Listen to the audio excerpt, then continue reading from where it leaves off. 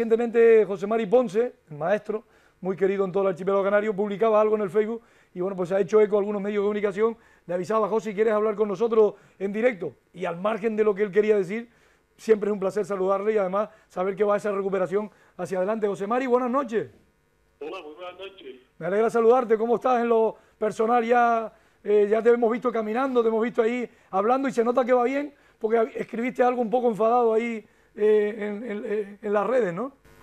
Sí, nada, vamos mejorando, más lento de lo que uno le gustaría, pero eso es normal. Nada, lo que somos personas del día a día, cuando te ves postrado, pues, pues siempre te, te incomodas y, y, quieres que todo sea más rápido, pero, pero no me puedo quejar, estamos dando los pasos. José María, ha sido, ha, sido, ha sido complicado, fue algo durísimo para ti, lo peor de en toda tu trayectoria deportiva, ¿no?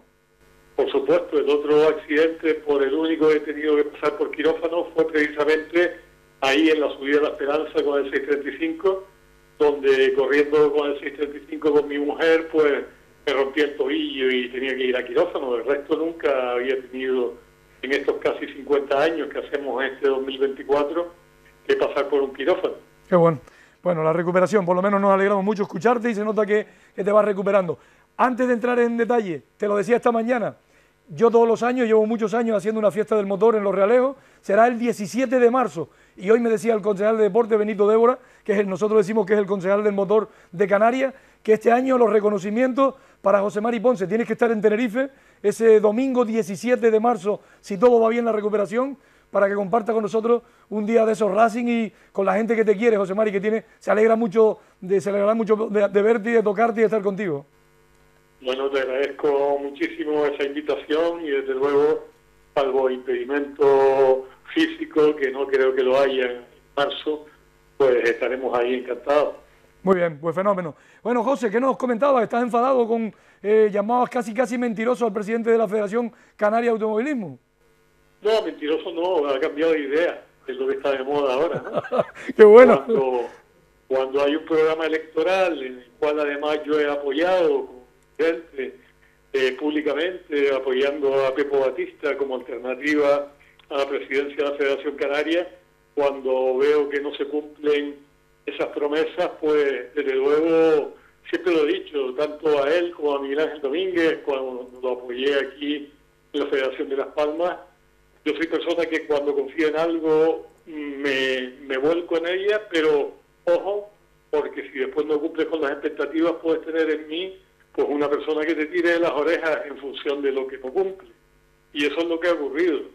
Sencillamente me he sentido decepcionado porque no te recibo que los deportistas no hayan sido advertidos de que se cerraba el plazo para la presentación de, propuestas y, y, que pudieran pues tener una posibilidad de mejorar el borrador del reglamento que se elabora por parte de la Federación Canaria.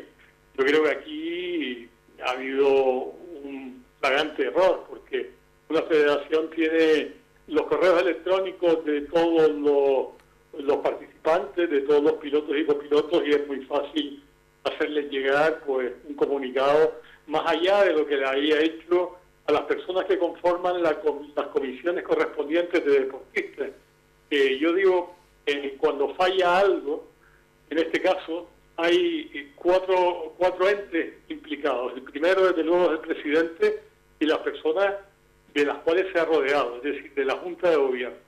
Luego está, por otra parte, los asambleístas que representan a los pilotos y copilotos y que no se han dirigido a ellos para advertir también de esas circunstancias. Segundo error.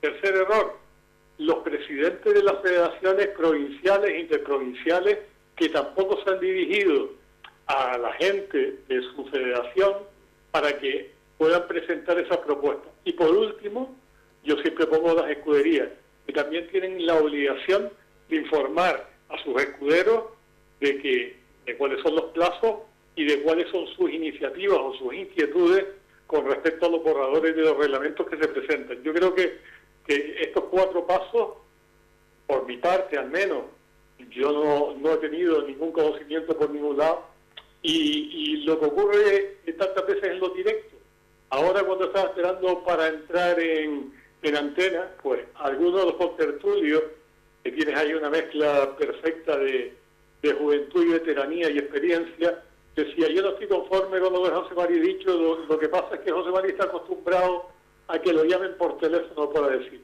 hombre, a ver quién se cree que Benito me llamaba a mí para contar lo que hacía. Yo, yo creo que, debe ser un poco más eh, concienzudo con, con esa afirmación, porque yo siempre he estado muy atento a las cosas, ahora a lo mejor no lo he estado tanto por mis circunstancias personales, por, por el problema que he pasado, y cuando me he enterado de las circunstancias, que me he enterado por pilotos de Tenerife, que me han llamado diciéndome, José Mari, hoy se cierra el plazo para no sé qué, le digo, mira, yo estoy en la clínica, hoy es un día de clínica, hasta las 3 no salgo y me estás diciendo que a las 5 se cierra el plazo. Entonces, claro que ha habido. ¿Que se ha publicado algo en Instagram? Vale. ¿Y, y qué? Y eso es lo prometido de consenso, diálogo, eh, máxima transparencia, máxima difusión. Pues no no en absoluto puedo estar de acuerdo y por tanto me, me, enfado y, doy mi parecer, que creo que estoy en, el derecho de hacerlo. Está claro. José Mari, aprovechando que los tenemos ellos aquí, eh, cuando tú comentas, eso no se ha comentado en antena, sino que ya estaba tu llamada pinchada para entrar en lo que estábamos viendo el reportaje del coche del año y ellos comentaron ese tema. Pero espérate, aprovechando que lo tenemos, la comunicación ha llegado, Poli, Julio, ha llegado en forma, en momento, desde la Canaria a ustedes, organizadores. a los asamblearios, sí. a los asamblearios, claro. Eh, tiene razón en parte lo que está diciendo, que no le ha llegado a todo el mundo. Ahora mismo me estoy dando cuenta que nosotros no le hemos transmitido nada a Celestino, por ejemplo. Que no es asambleario. Que no es asambleario. Vale, vale, vale. Y la asamblea es el sábado. O que en parte tiene los José Mari tiene, tiene que haber reuniones de todo, de todos los estamentos. Eh, José María en este caso es deportista, tiene unos representantes de, los deportistas que ellos han votado, que han elegido en la asamblea y son ese colectivo los que tenían que que tenían que haberse reunido y hacer reuniones con los deportistas para presentar las asambleas.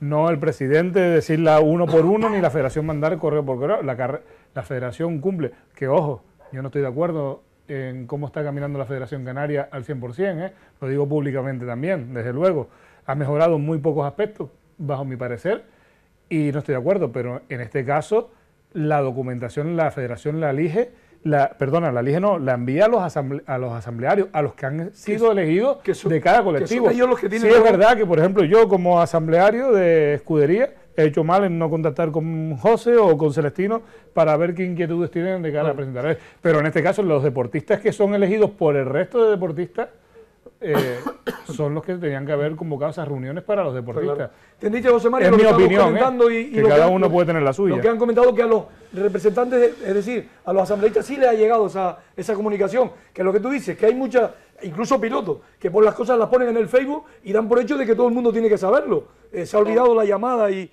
el, y el contactar, ¿no? Vamos a ver, yo soy asambleísta por la Federación de Las Palmas, ¿vale? Hay compañeros que representan a los deportistas en la federación regional. Esos representantes han obrado inadecuadamente, porque yo, por ejemplo, como asambleísta en Las Palmas, yo siempre comunico a través de las redes, que como único lo puedo hacer, cuándo son las fechas, cuál es el borrador. Pero si es que ahora da igual las federaciones provinciales, interprovinciales, sus asambleas para qué sirven. Y ahora resulta que es lo que se está llevando al borrador de la Canaria es que las federaciones locales no pueden cambiar ni una coma. O sea, yo lo que haré en la próxima reunión, una vez que se ha aprobado la federación regional, los reglamentos que dicen que las provinciales no pueden cambiar ni una coma y tienen que someterse a lo que ellos han dicho, presentaré mi dimisión como asambleísta, porque ¿para quién qué pinto yo? Y que pinta incluso la federación local, que es simplemente un mensajero obediente de lo que la Canaria dice. Yo siempre he sido defensor de que cada federación tenga en cuenta lo que sus federados eligen en sus asambleas propias. Pero ¿por qué hay que someterse a un criterio general de una federación canaria que normalmente viene comandada, y hay que hacerlo así por prioridad en los reglamentos, por Federación Española? Pero no nos olvidemos que tenemos autonomía, que costó mucho conseguirla para que las federaciones regionales y provinciales tuvieran su propia autonomía y la estamos perdiendo. Yo no soy partidario en absoluto de perderla, pero parece que los derroteros van por ese camino.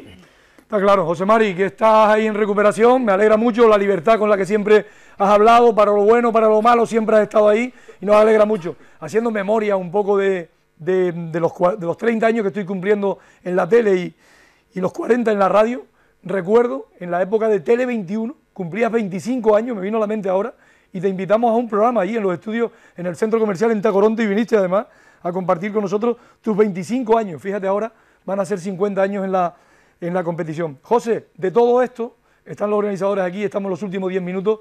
Las gracias es por haberte escuchado, con la energía de antes, con la fuerza y volviendo a ser tú.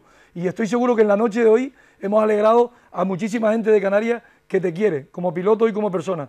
José, un abrazo, vamos hablando y nos vemos el día 17 de marzo en esa fiesta del motor en la montaña que el Ayuntamiento de Los Realejos y Cronómetro Cero te quiere ver de nuevo ahí eh, junto a la gasolina, ¿de acuerdo?